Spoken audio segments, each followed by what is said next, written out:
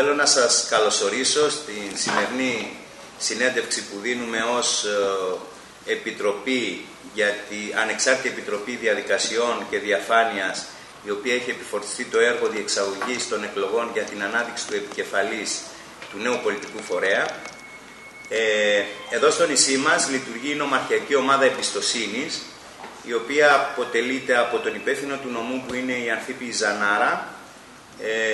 τους εκπροσώπους των υποψηφίων, την κυρία Λίκου εκ μέρους της κυρίας Γεννηματά, του Νίκου του Μαρτάκη εκ μέρους του κυρίου ε, Θεοδωράκη, του Δημήτρη του Ξυνταριανού εκ μέρους του κυρίου Καμίνη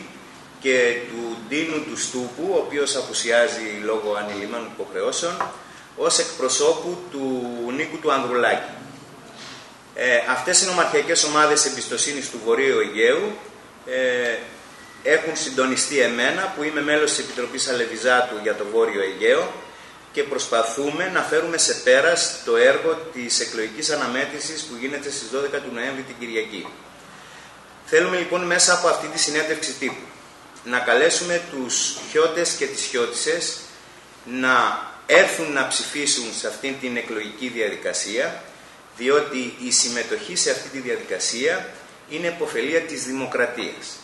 Νομίζουμε ότι οποιοδήποτε χιώτης και χιώτισσα, ανεξάρτητα από το τι ιδεολογικά πιστεύω έχει μέσα στο δημοκρατικό τόξο, οφείλει και πρέπει να είναι συμμέτοχος στην κορυφαία αυτή στιγμή για ένα νέο πολιτικό φορέα που πάει να δημιουργηθεί και πάει να εκλέξει τον επικεφαλής του. Ε, θέλω πληροφοριακά να δώσω κάποια στοιχεία. Εδώ στοιχείο έχουμε τέσσερα εκλογικά κέντρα. Έχουμε δύο εκλογικά κέντρα μέσα στην πόλη της Χίου, τα οποία και τα δύο θα βρίσκονται στον όροφο του Δημαρχείου, στην αίθουσα του Δημοτικού Συμβουλίου. Έχουμε ένα εκλογικό κέντρο στα Καρδάμιλα, στο πρώην Δημαρχείο, και έχουμε και ένα εκλογικό κέντρο για τα μαστιχοκόρια, στα Αρμόλια, στην Πλατεία, στο Αγροτικό Ιατρείο. Η ψηφοφορία θα διαρκέσει από τις 8 το πρωί έως τις 8 το βράδυ και μπορεί να έρθει να ψηφίσει όπως είπα και προηγούμενα. Οποιοςδήποτε ε, είναι εγγεγραμμένος στους εθνικούς εκλογικούς καταλόγους. Με την ταυτότητά του ή οποιοδήποτε έγγραφο που πιστοποιεί την ταυτοπροσωπία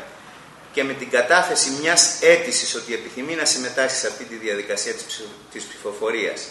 και με την καταβολή ενός ποσού των 3 ευρώ που είναι για να καλύψει τα έξοδα αυτής της εκλογικής διαδικασίας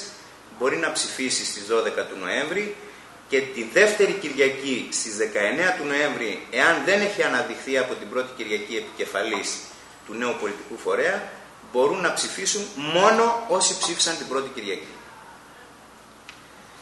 Ε, και πάλι κλείνοντας, θέλω να καλέσω τους συμπατριώτες να συμμετέχουν σε αυτή την εκλογική διαδικασία ευχόμενος να πάνε όλα καλά και ο τρόπος αυτός ανάδειξης του επικεφαλής του νέου πολιτικού φορέα